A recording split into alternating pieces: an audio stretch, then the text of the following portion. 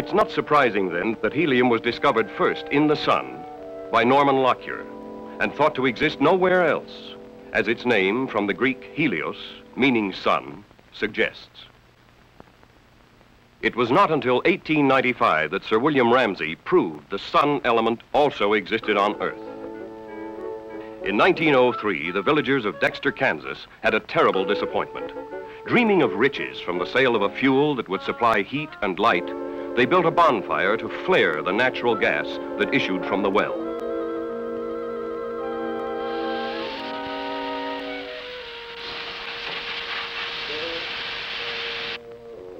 And it put the fire out.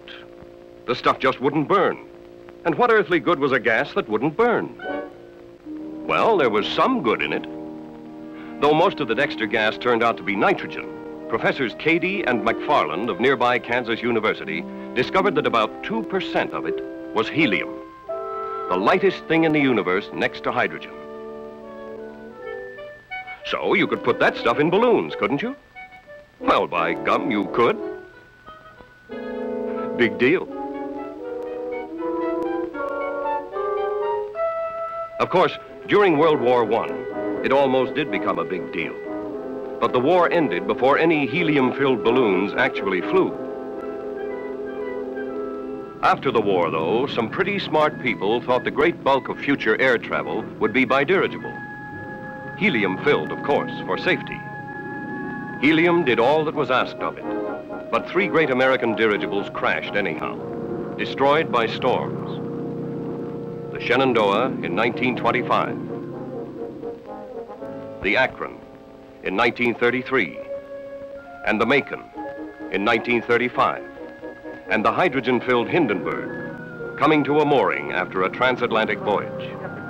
Holding it uh, just enough to keep it from...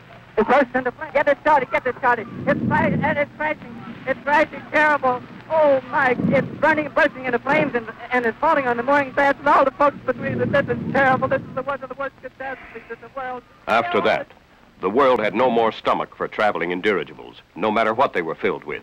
And helium was out of a job, remaining primarily a laboratory curiosity with no important uses, not even considered very interesting in the eyes of the scientific world. There were exceptions to this, however, and the Bureau of Mines, convinced that helium had not yet achieved its destiny, refused to scrap its helium production plants at Amarillo, Texas and continued to experiment with helium and to map its known sources. They had found that it was nearly always in natural gas, an accident of nature that proved fortunate indeed for the United States and her friends. For when Hitler threw the torch that started World War II, the amazingly buoyant gas that wouldn't burn had important work to do.